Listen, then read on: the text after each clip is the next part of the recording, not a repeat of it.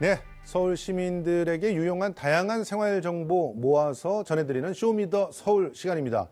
매주 수요일은 문화와 관련돼 있는 정보들을 전해드리는데요. 그래서 김원식 문화평론가와 함께합니다. 어서 오십시오. 네, 안녕하십니까. 예, 평론가님도 스마트폰으로 동영상 자주 보시죠?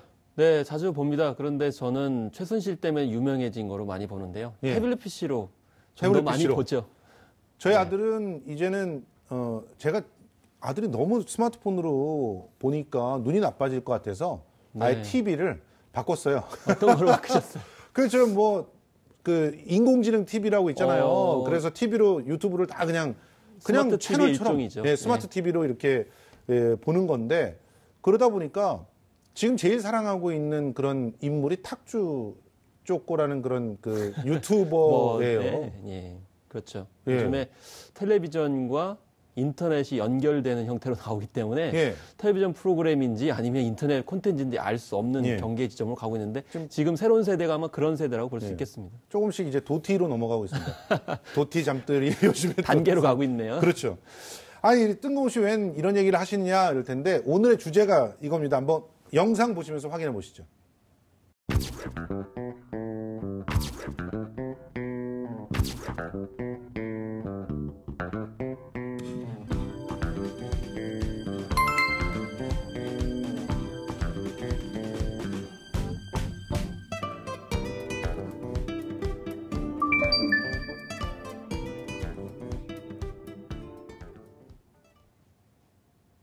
예, 이제는 뭐 Z세대까지 왔습니다. X세대, Y세대 얘기할 때가 엊그제 같은데 이제는 예, 웹 컨텐츠에 빠진 Z세대 이야기를 하는 건데 이게 이제 밀레니얼 세대라든가 X세대와 어떻게 다른지 좀 일단 규정을 하고 넘어가시죠. 네, 그렇습니다. 그래서 아마 진행자분께서는 X세대에 속하지 않으실까라는 생각이 예, 드는데 저는 X세대의 문턱에 있었고요. 60년에서 이제 예. 70년대 사이라고 이제 규정이 되고 맞습니다. 되게 70년대 쪽에 이제 가깝죠. 예. 아, 그래서 주로 이제 삐삐라든지 워크맨 정도에 걸쳐 있는 세대이고 예. Y 세대는 밀레니얼 세대라고 그래 가지고 80년에서 90년대 저 작가님하고 피디님 해당이 될 것 같고요. 예. 그래서 이상은 높은데 어떤 청년 실업 현실에서 약간 좌절된 측면 이 있고 또 그렇죠. 기기로는 스마트폰과 태블릿 PC를 막 사용하고 익숙한 아, 세대고요. 그래서 Z세대 이제 82년 뭐 김지영 이 네, 여기에 그렇죠. 속해 있는 여기에 거죠. 네. 속하고요. 사실 밀레니얼이라고 하는 2000년대에 이제 어, 대학생, 뭐 청소년기 보냈던 세대라고 볼수 예, 있겠습니다. 그렇습니다. 또 Z 세대는 요즘에 유행하고 있는 90년대생들이 온다라는 측면에서 90년과 2000년대에 걸치는 또 세대입니다. 그래서 이 저성장 시대의 성장기를 보내고 맞아요. 활동했기 때문에 약간은 개성을 더 중시하고요. 또 요즘에 유행하는 어, 본격적으로 선보이고 있는 5세대 경영통신이라든지 또 인- 사물 인터넷과 익숙한 그 동영상은 더 친한 음. 그런 세대라고 볼 수 있겠습니다. 뭐 사실 그 X 세대만 해도 TV 세대였잖아요. 네, 그 그렇습니다. TV의 노예가 됐다 뭐 이런 식으로 그래서 뭐 그때 당시에 TV 끄기 운동 막 하고 네. 막 그때 우리 그 사실은 문화 평론 시작을 했었잖아요. 미디어 그렇습니다. literacy를 해야 된다 그러면서 근데 이제 미디어 literacy 영역이 Z 세대로 와가지고는 이게 유튜브를 감시해야 되는 상황이 왔는데 이거 감시를 할 수가 없어요. 읽어내긴다는 것도 불가능한 거, 어, 어, 읽어내는 건 가능하죠. 그렇지만 네. 이거를 뭐 어떻게 예전에 감시 운동 뭐 이런 걸로는 불가능한 시대가 돼버렸어요. 그냥 집에 와서 얘네들은 모바일을 딱 켜는데 뭐 기구나 위원회나 뭐 이런 걸로 감시를 할수 있는 그런 공간이 아니잖아요. 그렇습니다. 그래서 예전에는 TV를 보지 마라. 예. 라고 이제 해도 이제 봤던 그런 세대였잖아요. 예. 그런데 TV를 봐라고 해도 보지 않는, 않는 세대가. 된 것이죠. 네, 맞습니다. 그래서 뭐 굳이 텔레비전을 얘기하지 않는다 하더라도 오히려 이제 웹 콘텐츠에 익숙한 세대라고 볼 수가 있겠고요. 그렇기 때문에 예전처럼 뭐 미디어 literacy 관점에서 텔레비전을 주안점에 두었던 그런 면에서 보니까 요즘에 TV 평가는 할 일이 없어진 그런 측면들이 있는 것 같아요. 옛날에 TV 비평가라는 말도 있었는데 이제는 그런 얘기를 안 하죠. 네. 아예. 그래서 오히려 어 이제는 뭐 이제 동영상 길라잡이, 예. 뭐 guider, 맞아요. 뭐 이런 것이 더 있고요. 그런 것이 오히려 미터러, 어, 리- 미디어 literacy의 역할을 할 수 있는 아, 그런 측면이 있지 않을까 생각이 들어요. 어쨌든 세대별 미디어 이용 시간도 보니까 엄청나네요. 예, 예. 뭐 텔레비전을 예전에 뭐한 어, 뭐 굉장히 50% 60%까지 봤던 세대가 있었다고 하면 예. 지금은 거꾸로 어 이제 유튜브를 포함한 그런 동영상 플랫폼에 들어가는 비율이 70% 가까이 된다. 그래서 어린 시절에 이미 세살네살때 동영상 음, 플랫폼을 가서 이제 보고 자란 세대다 네. 이렇게 볼 수도 있는 거죠. 저보고 굉장히 저희 부모님이 뭐라 그러셔요. 어떤 너, 말씀이죠? 너 때문에 아들놈이 어, 그럴 수도 있어요. 그 지금 우리 에, 7살짜리 아들이 아침에 딱 일어나면은 제일 먼저 스마트 TV를 통해 가지고 그 유튜브 컨텐츠를 보는 게 이게 낙이라고 얘기를 하거든요. 근데 그거를 제가 그렇게 길렀다는 거예요. 사실 그런 면도 없지 않아 있다고 생각이 아, 듭니다. 있죠. 왜냐하면 텔레비 보면은 이제 바보 상자를 보는 것이다 이렇게 얘기를 해서 오히려 텔레비전 안 보기 운동했고 그게 예. 교육적으로 더 좋을 것이다라고 생각을 하셨죠. 그런데 거꾸로 동영상을 보는 것은 하루에 뭐 두 시간만 해, 세 시간만 해, 특히 이제 게임은 뭐 몇 시간만 해 라고 해서 오히려 인터넷 쪽으로 열어준 측면이 있다 보니까 오히려 동영상에 익숙한 세대가 탄생했다라고 볼 수도 있는 거죠. 근데 그런 것도 있지만 사실은 그 TV 논란을 겪으면서 우리 세대들이 그 TV 바보상자 논란을 겪으면서 아 미디어라고 하는 게 사실은 어떻게 활용하는가가 중요하구나 하는 걸 우리는 배운 1세대들이잖아요. 그러면서 오히려 어렸을 때 좀 친숙하게 해서 자기가 갖고 노는 도구라고 하는 인식을 갖다 좀 교육을 시키고 싶었던 것인데 그러다 보니까 오히려 1020 세대들이 그 미디어 친근도라고 할까요? 이게 네. 굉장히 뭐 좋아졌고 그러다 보니까 더더욱 또 거기에 뭐, 뭐 향유하는 그런 네. 시간이 늘어나고 이런 상황이 된 거 아닌가. 그렇습니다. 사실 지금 이제 TBS, TV에서 이런 얘기를 하는 것이 좀 약간 적절한지는 어, 의문일 수도 있겠습니다. 그렇지만 텔레비전이 가진 한계가 분명히 있어요. 예를 예. 들면 소재라든지 형식들이 너무 제한돼 있다는 점이 예. 기본적이고요. 그리고 일방향적이에요. 그렇죠. 반응을 어떻게 이제 돼 이제 반응을 보여가지고 그것을 반영 적용시키기가 굉장히 어렵거든요. 근데 인터넷이라고 하는 건 결국 수용자들이 반응을 보일 수 있고 오히려 그것을 개선해서 진화시킬 수도 있는 것이죠. 맞아요. 그래서 지금 이1020 세대 같은 경우에는 그냥 수용하는 것이 아니고 음. 반응을 보여서 적극적으로 바꿔나가는 그런 역할도 하기 때문인데요. 그래서. 보면 요 얘기를 꼭 하고 싶었는데 영화는 진짜 완전 수동적이잖아요. 그렇습니다. 어두컴컴한 아주 사육당한다고 저 말도 안. 하고. 아, 얼마 전에 저 그 언더독이라는 애니메이션을 아들이랑 같이 보러 갔는데 네. 아들한테 이- 설명을 해주고 있는데 옆에서 짜증을 내시더라고요. 좀 이해를 해주시면 얼마나 좋아. 근데 어쨌든 영화는 그런 분위기. 근데 TV만 해도 같이 좀 얘기를 하면서 보는 분위기인데 아예 지금 이 모바일로 와가지고는 뭐 그냥 눈앞에 있는 그런 영상들에 대해서 계속 참견을 하면서 보는 그런 상황이 돼버렸잖아요. 그렇습니다. 그리고 요즘에 이제 어, 그런 유튜브 채널이라고 하는 것이 유행이지 네. 않습니까? 근데 거기에 핵심적인 것이 바로 미션을 내려요. 음. 그래가지고 미션을 받은 어, 유튜버들은 그것을 수행을 해야 됩니다. 맞아요.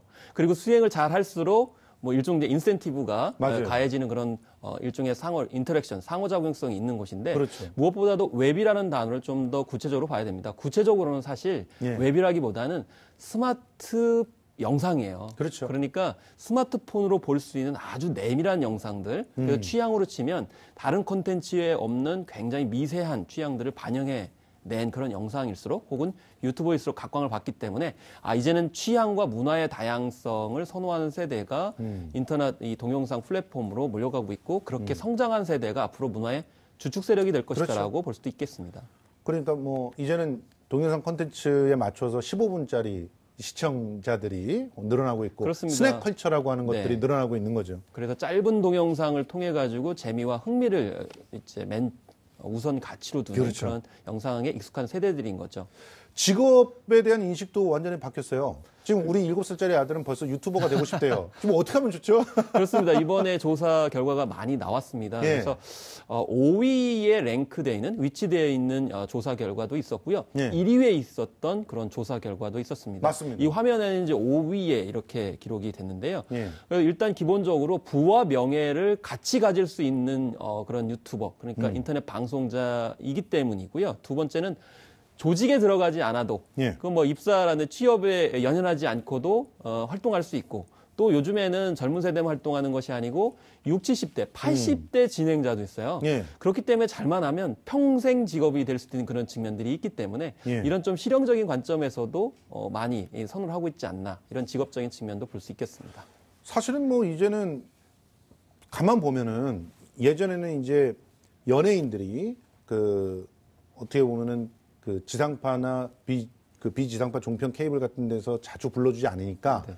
유튜브로 진출하는 그런 모습이었다면 지금은 완전히 뒤바뀌어가지고 어. 유튜브 스타들이 지상파, 비지상파 를 다 장악하는 그런 모습들이 네. 보이죠. 그래서 갑과 을의 경계가 무너지고 있는 것 아닌가라는 생각이 들어요. 사실 네. 방송이 못된 버릇이 있는데 쓰다 버리는 개념이 강해요. 맞아요. 그래서 인기 있을 때는 취하다가 없으면 버리고 그래서 감탄 고토가 심한데 예. 여기서 자구책이 필요하잖아요. 그래서 그렇죠. 연예인들도 나만의 영역을 구축하는 거죠. 예. 그래서 제일 평가 기준이 구독자 수가 몇 명이냐가 굉장히 중요하지 않습니까? 그렇죠. 그래서 자신의 어떤 팬들을 결집을 해가지고 인기가 있으면 다시 방송에 진출하고 예. 뭐 송은이나 김숙 씨 같은 경우가 대표적이고요. 맞아요.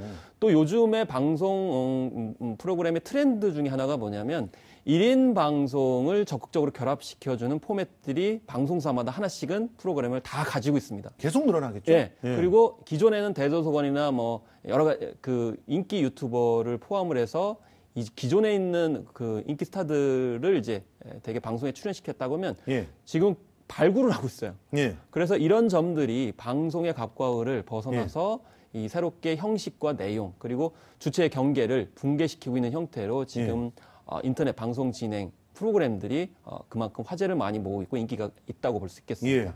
예. 이 헤이진이 같은 경우는 우리 이 아들의 세살네살때 영웅이었고 이제는 영웅이 완전 달라요. 예. 네. 그러니까 연령대에 따라서 좋아하는 그런 스타들이 달라지고 있어요. 그런 네. 것들도 어떻게 보면 굉장히 어, 다양한 개성들이 공존하는 그런 사회로 가고 있는 게 아닌가 이런 긍정적인. 방향으로는 이제 그렇게 평가할 수 있죠. 그렇죠. 자, 이제 그렇게 되면은 TV의 시대는 저물었다 이렇게 봐야 되는 거죠. 가족들이 한꺼번에 모여서 같은 프로그램을 보면서 채널 선택권을 갖고 싸우던 시대는 끝. 그렇죠? 그럴 수 있습니다. 그런데 다만 어, 텔레비전 크기는 커지고 있어요. 그렇죠. 그래서 뭐 70인치 이상의 대형 텔레비전은 커지고 근데 그거는 다 함께 어떤 시각적인 효과를 즐길 수 있는 프로그램들은 많이 볼 수 있고요. 예. 다만 그 취향이 좀 약간 각게 좀 쪼개지는 듯한 예. 예, 그런 이제 콘텐츠는 각기 어, 유튜브를 포함한 SNS를 통해서 이제 볼 수 있는 그런 상황이 된 예. 것이라서 같이 볼 때는 같이 보고 따로 볼 때는 따로 보고 이런 식으로 좀 그렇습니다. 분화되고 있다고 볼 수 있겠습니다.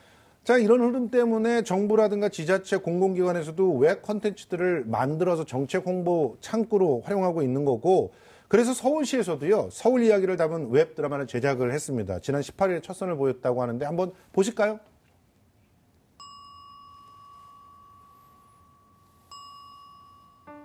안녕하세요. 진영입니다. 제가 맡은 역할은요. 음, 멘부커 상에 빛나는 천재 작가 다니엘 그리고 이건우 역할을 맡았습니다. 야 안녕하세요. 서울의 저는 풍경 드라마에서 어떻게 보면 서울에서 사는 사람들의 모습을 예, 드라마로 저렇게 만들어서 전달해 주니까 서울을 홍보하는 데. 훨씬 도움이 되겠어요. 어, 무엇보다도 서울의 주요 명소가 이제 배경으로 등장한다는 거죠. 네, 어, 그래서. 뭐 북촌의 한옥 게스트하우스 네. 어, 이렇게 한옥의 어떤 풍경들을 서울 보여주기도 하고요. 네. 또 남산이라든지 또 한강, 아, 이렇게 그리고 청계천, 서울 광장 눈이 등. 주요 이제 서울의 명소들을 드라마 사이사이에 공간적 배경으로 어, 음. 넣는 거죠. 예, 저 장면 같은 경우도 아마 북촌쯤이라고 생각이 예, 드는데요. 네.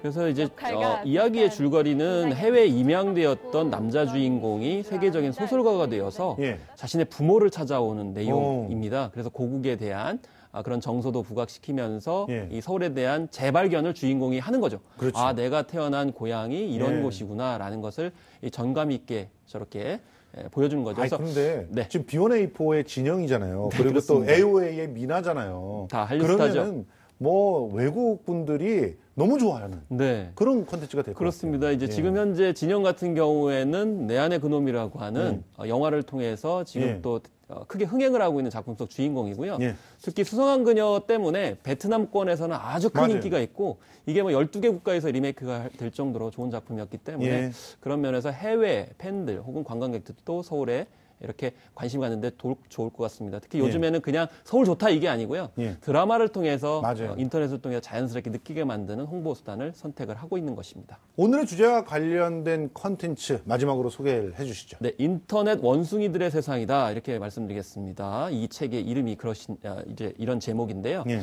지금까지는 저희가 너무 인터넷에 대해서 극찬을 했습니다. 근데 이책 제목을 보시면 인터넷 원숭이들입니다. 그러니까 원숭이는 동물원에 gat혀 있죠. 예. 그 동물원에 갇힌 원숭이가 재롱을 떨가지고 왜곡을 하고 과작을 하는 것이 인터넷 컨텐츠일 수 있다. 예. 그래서 조작과 왜곡은 하지 말고 진실을 밝히는 그런 컨텐츠로 채워지길 바랍니다. 맞습니다. 일단은 가짜 뉴스들부터 확실하게 걸러내는 안목을 키워야 되지 않을까 그렇습니다. 생각이 듭니다.